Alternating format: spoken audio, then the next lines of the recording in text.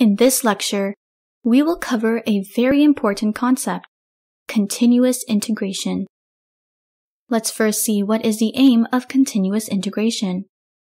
Continuous integration aims to provide reliable, working, integrated software at the end of each sprint. Let's understand this point.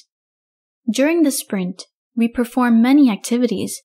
For example, all the developers implement code and then test the implemented code. To make sure everything is working at the end of the sprint, we go for continuous integration. Remember this. Continuous integration aims to provide reliable, working, integrated software at the end of each sprint. Now let's understand the concept and need for continuous integration. Suppose there are three developers, developer 1, developer 2, and developer 3, who are implementing the code.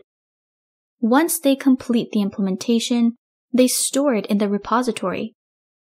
Usually, at the end of the day, everyone puts their code in the repository. Since three different developers are implementing the code, once their work is done, we have to integrate their code, so make a single working software. That means all the newly implemented code are integrated into the main software daily.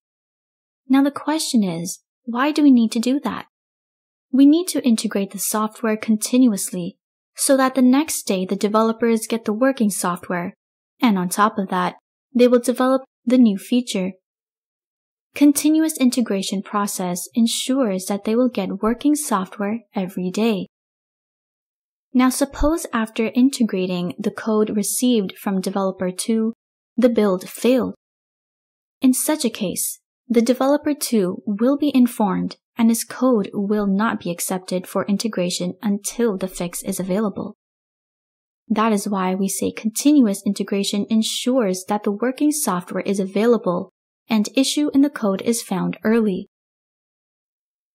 The next day, all the developers will take the code from the repository and continue their work, and this process continues until the end of the sprint. This is how continuous integration process works, and it is one of the important aspects of an agile project.